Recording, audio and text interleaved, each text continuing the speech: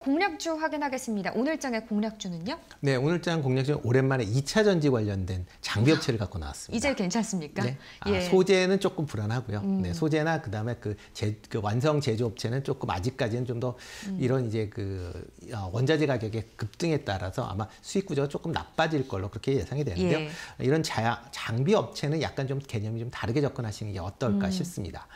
직접적인 소재 관련 원자재 가격이 올라간다라고 하게 되면 물론 이제 관련된 뭐 부품을 생산하기 예. 위한 아, 장비를 생산하기 위한 비용이 약간 올라간다라고는 하지만 기본적으로 다른 소재나 어, 완성 제조업체에 비해서는 조금 상대적으로 덜 영향을 받을 수 있다라는 거고요. 음. 어, 최근 그 2차 전지 이런 어, 관련돼서 어, 올해 내내 이제 계속 그 공장 이제 증설에 대한 이슈가 계속 있을 걸로 예. 그렇게 예상을 하고 있습니다. 그렇기 때문에 그 부분을 좀 감안을 해주시면 어떨까 싶고요. 특히 뭐 스위스의 노스볼트나 그다음에 뭐 영국이나 유럽의 이런 이제 그 배터리 업체와의 이제 계약 관계가 있다라고 보시면 되고요.